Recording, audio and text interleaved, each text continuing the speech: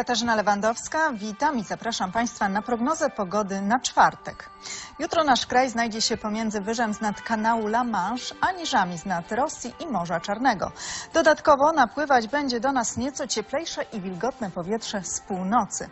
W całym kraju pochmurno z lokalnymi przejaśnieniami i wszędzie występować mogą słabe i przelotne opady deszczu, a w górach i na przedgórzu znowu popada śnieg. Jutro chłodniej będzie na południu Polski, tu w granicach 1-2 stopni, a cieplej na północy od 6 do 7 kresek. Teraz szczegóły dla naszego regionu.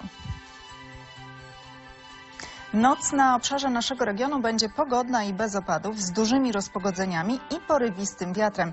I prawie wszędzie złapie mróz. Termometry pokażą od minus 7 stopni w Płocku do zera w Legnicy. Wczesny poranek w miarę słoneczny i bez opadów. Dopiero przed samym południem spodziewamy się opadów. W ciągu dnia zachmurzy się prawie całkowicie i występować będą opady mieszane. Na północy województwa opady deszczu i mrzawki, a na południu Dolnego Śląska słabo popada sam śnieg. Dzień będzie chłodny na termometrach od zera w Płocku do 3 stopni w Legnicy i we Wrocławiu. Ciśnienie będzie spadać. W południe wyniesie 1013 hektopaskali. Wiatr północno-zachodni słabo umiarkowany okresami porywisty.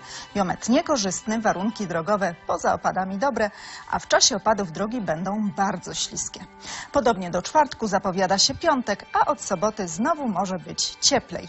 I teraz to już wszystkie informacje o pogodzie. Przyjemnego wieczoru Państwu życzę. Do zobaczenia.